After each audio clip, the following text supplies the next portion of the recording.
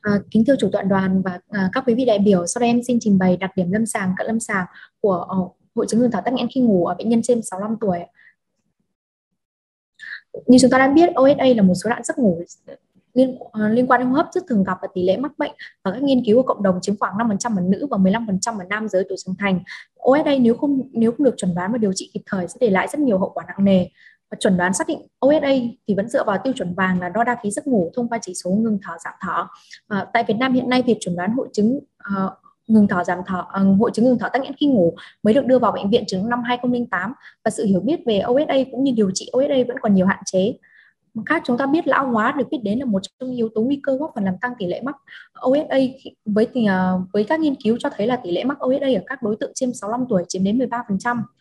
À, theo Hiệp hội Giấc ngủ Hoa Kỳ thì à, uh, OSA được chia làm ba nhóm chính, à, hội chứng ngừng thở khi ngủ được chia làm ba nhóm chính. Thứ nhất là OSA ngừng thở tắc nghẽn, gặp ở phần lớn các trường hợp là hậu quả của giảm lưu lượng hô hấp do tắc hẹp đường thở hô trên. Thứ hai là ngừng thở trung ương, các tín hiệu hô hấp từ trung ương không dẫn truyền đến được cơ quan hô hấp, vì vậy không cố gắng sức hô hấp dù là đường hô hấp vẫn mở. Và thứ ba là ngừng thở hô hấp à, hỗn hợp là các sự kiện uh,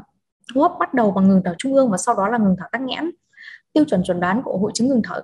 khi ngủ là dựa vào tiêu chuẩn uh, chuẩn đoán của Hiệp hội Giấc ngủ Hoa Kỳ năm 2014 dựa vào sự hiện diện của tiêu chuẩn A và tiêu chuẩn B hoặc là cần tiêu chuẩn C. Các cái yếu tố nguy cơ của OSA có thứ nhất là tuổi, thứ hai là là giới nam, thứ ba là béo phì, thứ tư là các bất thường về sọ mặt và đường hô hấp trên, thứ năm là các cái yếu tố di truyền, thứ sáu là thói quen uh, sử dụng hút thuốc lá và uống rượu và thứ bảy là các cái yếu tố nguy cơ khác nếu mà không được chuẩn đoán và điều trị kịp thời hậu quả của OSA có thể gây nên thứ nhất là giảm trí nhớ, mất tập trung, mệt mỏi kéo dài và nguy cơ mắc tai nạn giao thông là cao gấp 6 lần so với nhóm chứng. Thứ hai là bệnh, các cái bệnh lý tim mạch ừ, tăng huyết áp rối loạn nhịp tim, suy tim, tăng áp lực động mạch phổi. Thứ à, ba là các cái bệnh về vấn đề chuyển hóa, nhất là đái tháo đường và rối loạn lipid máu có thể dẫn đến tai biến mạch máu não và thậm chí là tử vong. Ờ, trong nghiên, ờ, nghiên cứu này của chúng em sử dụng uh, lựa chọn các cái bệnh nhân trên 65 tuổi đã được đo đa ký giấc ngủ hoặc đa ký hô hấp uh, được chuẩn đoán mắc hội chứng ngừng thở tắc nghẽn khi ngủ theo tiêu chuẩn của Hiệp hội giấc ngủ Hoa Kỳ năm 2014 và loại trừ các bệnh nhân đang trong giai đoạn suy tim cấp hoặc đang mắc các bệnh cấp tính mạng tính không cho phép ừ, đo đa ký giấc ngủ, đa ký hô hấp, bệnh nhân có các cái rối loạn về tâm thần, bệnh nhân có cái triệu chứng ngừng thở do các nguyên nhân khác như chấn thương sọ não và sử dụng các cái thuốc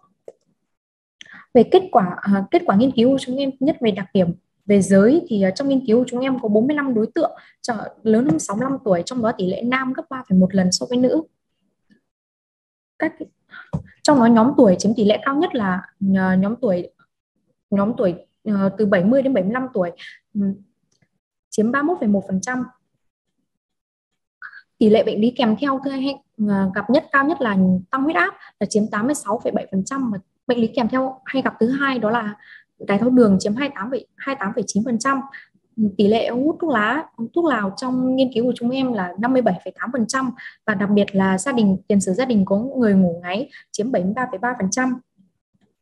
ờ, chỉ số khối trung bình của nhóm nghiên cứu là 25 25 25,9 trong đó có 5 57,8% bệnh nhân béo phì.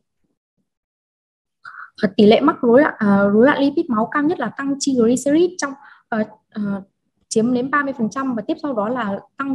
cholesterol và giảm HDLC. Trong nghiên cứu của chúng em triệu chứng buồn trong nghiên cứu của chúng em triệu chứng buồn ngủ ban à, ban ngày đánh giá bằng thang điểm Epworth chiếm 20 20% và triệu chứng đau đầu buổi sáng có 8 bệnh nhân chiếm đến 20%. Trung bình điểm Epworth của cả nhóm cả nhóm nghiên cứu là 7,1 cộng trừ 4 4,4 trong đó nam giới có điểm Epworth trung bình cao hơn nữ giới nhưng sự khác biệt không có ý nghĩa thống kê với P lớn hơn 0,05. Và điều này cũng tương tự với tác giả chung khi nghiên cứu trên 757 bệnh nhân cho điểm Epworth trung bình của cả nhóm nhóm bệnh nhân lớn hơn 65 tuổi uh, là 7,8. Triệu chứng ban à, ban đêm ghi nhận nhiều nhất trong nghiên cứu của chúng em đó là ngáy to chiếm 92 92,5%, à, tiếp theo là thức giấc nhiều lần trong đêm chiếm 75%. Khi phân tích kết quả đo đa ký hô hấp và đa ký giấc ngủ thì ờ, chúng em nhận thấy tỷ lệ mắc OSA mức độ trung bình và mức độ nặng trong nghiên cứu của chúng em là 73,3%. Chỉ số ASI trung bình của nhóm nghiên cứu là 32,6 cộng trừ 23, thấp nhất là 5 và cao nhất là 103,8 và năm của chỉ số ASI trung bình của nữ giới thấp hơn của nam giới nhưng sự khác biệt này không có ý nghĩa thống kê với P lớn hơn 0,05 và ở đây thì chúng em cũng nhận thấy là ADI cũng có sự khác biệt uh, giữa các nhóm tuổi có sự khác biệt giữa các nhóm tuổi ở đây chỉ số ASI độ bão hòa oxy máu nhỏ nhất và độ bão hòa oxy máu nền không có sự khác biệt giữa nhóm bệnh nhân béo phì và không béo phì ASI cũng chỉ số ASI cũng không có sự tương quan đối với các chỉ số nhân chắc là chu vi vòng cổ, chu vi vòng bụng và chỉ số khối cơ thể ở nhóm đối tượng lớn hơn 65 tuổi trong nghiên cứu của chúng em. Đây thì uh, chúng em cũng nhận thấy là chỉ số ASI cùng với là điểm thang điểm à, uh, Fwood thì đều không có sự tương quan với tuổi. Này thì nghiên cứu uh, phân tích tổng hợp của tác giả Nathan à, uh, Nicola năm 2019 uh, ờ, đối với OSA và tuổi thì cũng cho thấy là tuổi không có sự tương quan đối với chỉ số ASI với P bằng 0,5 tuy nhiên này có sự uh, tuổi đi kèm với có sự tương quan với sự giảm thang điểm Epworth với P bằng 0,04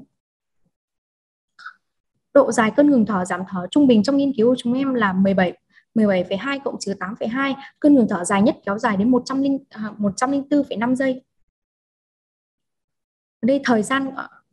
thời gian có nồng độ uh, oxy máu dưới 90% có tương quan chặt chẽ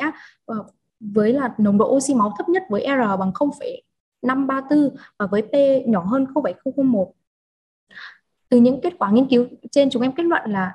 năm tỷ lệ năm đối với đối tượng lớn hơn 65 tuổi, tỷ lệ nam giới gấp 3,1 lần so với nữ giới, tỷ lệ béo phì chiếm 57,8% trong nhóm đối tượng OSA. Kèm theo um, bệnh lý kèm theo hay gặp nhất là tăng huyết áp là 86,7% và đái tháo đường là 28,9%. Số bệnh nhân lớn hơn 65 tuổi trong nghiên cứu chúng em có biểu hiện đau đầu buổi sáng chiếm tỷ lệ là 20% và có điểm ép Epworth lớn hơn 10 cũng chiếm 20%. Ngáy to và thức rất nhiều lần trong đêm vẫn là triệu chứng thường gặp nhất. Ờ, Tăng uh, tăng triglycerid máu chiếm 30% số bệnh nhân là rối loạn lipid máu thường gặp nhất. Đối với kết quả đo đa ký giấc ngủ và đa ký hô hấp thì ASI trung bình của nhóm nghiên cứu là 32,6 và không có sự khác biệt giữa hai giới. Số bệnh nhân có ASI từ trung bình đến nặng chiếm 73,3%, không có sự khác biệt về chỉ số ASI, độ bão hòa oxy máu nhỏ nhất, độ bão hòa oxy máu nền giữa hai nhóm bệnh nhân béo phì và không béo phì. Thời gian uh, nồng độ oxy máu dưới 90% tương quan chặt chẽ với nồng độ oxy máu thấp nhất với P nhỏ hơn 0,001, không có tương và T90 cũng không có tương quan với chỉ số ngưng giảm thở ADI.